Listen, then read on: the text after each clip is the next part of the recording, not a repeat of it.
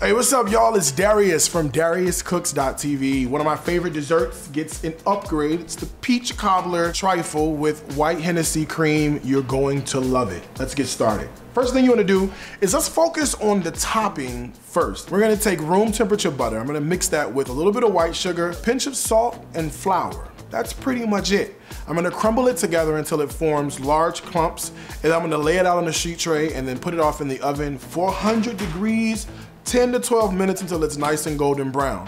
When it comes out the oven, it'll still be a little soft, so don't freak out. You're, you're, right where you need to be, but as it cools, it's gonna harden, and it's gonna remind me of those lunchroom butter cookies we used to have back when I was in high school. You're gonna love it. The next part of the recipe is really simple. It's time for the actual cake part to be cooked. So instead of using dough, we're gonna use my vanilla buttermilk cake recipe, super simple to do. We're gonna take a big bowl, and in the bowl, we're gonna add in some buttermilk with a little bit of sugar, and then also I'm gonna add in some vegetable oil. I'm gonna whisk that together until it's well combined. Then I'm gonna add in two eggs, a good amount of vanilla, and then for the rest of the dry ingredients, it's gonna be a pinch of salt, some baking soda, and then two and a half cups of flour are gonna go in. You're gonna combine that until it's nice and smooth.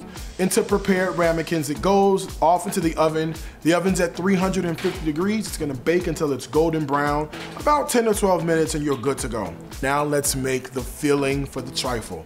I'm gonna start with some butter, obviously. Then I'm gonna add in frozen peaches, some ground cinnamon, a little bit of white sugar, some brown sugar has to go in, some vanilla, a pinch of salt, a little bit of fresh squeezed lemon juice, a little bit of nutmeg is gonna finish this whole situation off. Let that come to a boil.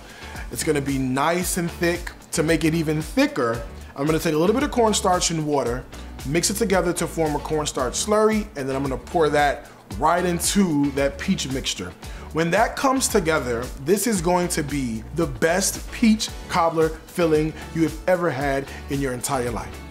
Now it's time to make the whipped cream so we can assemble the trifles.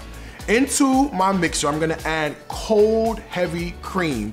Some brown sugar goes in, some white sugar goes in, a touch of cinnamon, some vanilla, and then you guessed it, the white Hennessy. I'm gonna put the mixer on low to begin with so everything comes together. And as that cream starts to really come together, I'm gonna turn the mixer up and let it go until stiff peaks have been formed. Then we put everything together. I'm gonna take the cake, cut it into cubes. Those are gonna go in first.